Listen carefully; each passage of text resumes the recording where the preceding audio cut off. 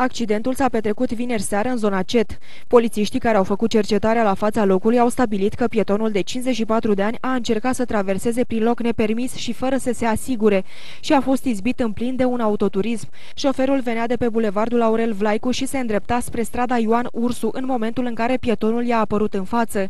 Impactul a fost iminent. Din declarațiile martorilor, după accident, autoturismul de culoare închisă a demarat în trombă fără ca șoferul să se mai uite înapoi.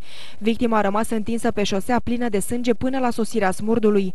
Medicii l-au găsit pe bărbatul de 54 de ani în stare critică.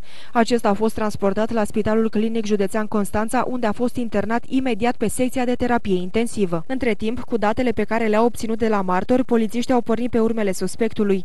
La câteva ore după accident, acesta a fost reținut și condus la sediul Poliției Rutiere pentru audieri. Este vorba despre un bărbat de 47 de ani de etnie romă cu antecedente penale. Acesta a fugit de la locul accidentului pentru că nu avea permis de conducere.